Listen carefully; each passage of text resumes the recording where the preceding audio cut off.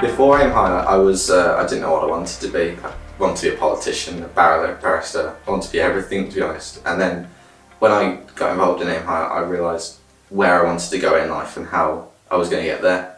My first thought about Aimhigher was um, I was a bit apprehensive. I wasn't sure what it was and what it entailed, and I was a bit a little bit scared, a little bit anxious about it. My first one was Unifest, and I, I went there at year end of year ten, and it helped me learn about university and what there was. Not only that, but it taught us how to learn specific skills and how to implement them into daily life. And I met quite a few friends as well.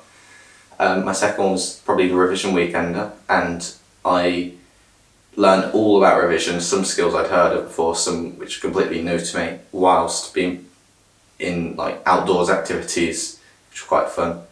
And most recent one probably the pupil voice. I've been there since the start of this year, and it's just really exciting to give my opinion and really fun to meet other people who want to give their opinion as well.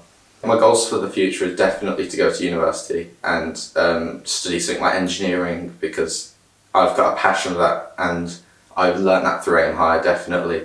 They definitely gave me pointers of where I should go to look for this kind of stuff and how I can get there.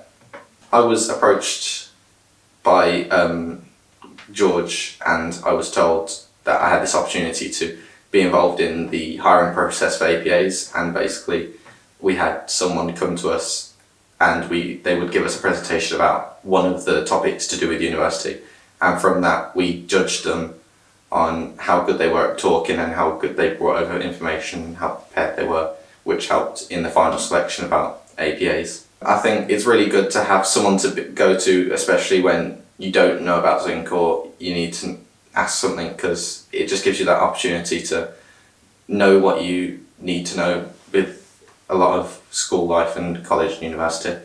I would uh, tell other students definitely giving it a go because um, it's it's a new feeling, it's a new experience and it, it can be very beneficial to school and college.